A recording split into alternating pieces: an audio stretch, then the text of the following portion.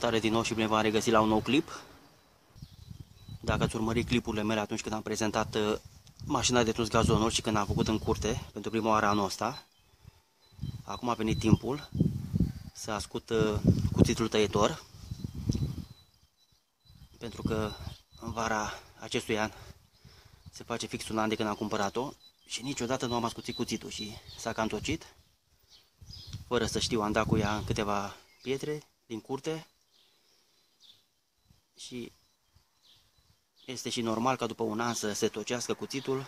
Nu mai tăia nici bine iarba, pur și simplu o smulgea și din această cauză pentru a tăia iarba cât mai bine și cât mai uniform am hotărât să ascut cuțitul și o să vedeți cum fac această operațiune. Fiecare ascute cum vrea, ori cu șmilgărul, ori cu pila, ori cu polizorul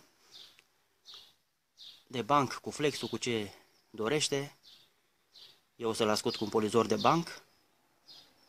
Acum o să întorc mașina și o să desfac pur și simplu cuțitul, nu vreau să îl ascut, că nu am cum, cu polizorul fără să-l desfac.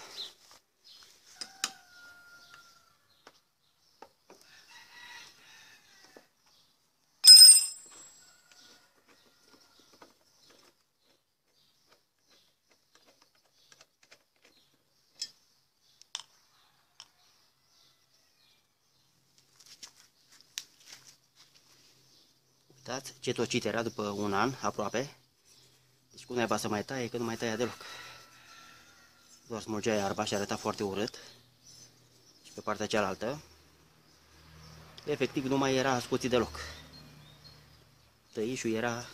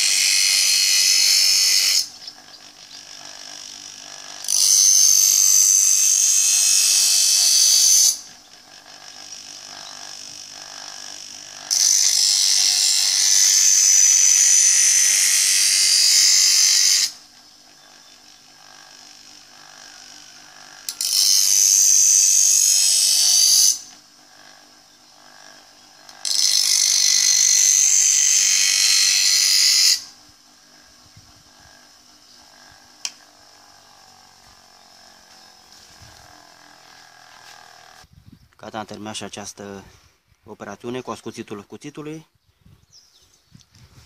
Vreau să vă spun că virgulă cuțitul meu este de 32 de centimetri.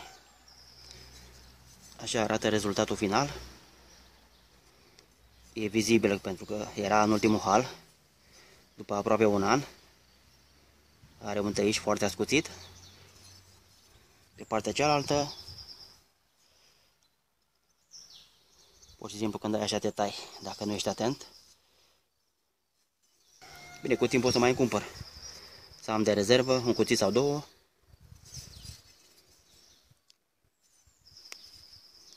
Nu se compară față de cum era. Gata, am înfiletat și pe ulița la loc. Am pus cuțitul, am montat cuțitul. Și acum o să-i dau drumul să tai arba din curte pentru a doua oară pe acest an. Bun, până data viitoare vă salut și vă doresc spor la treabă. Numai bine! Thank you.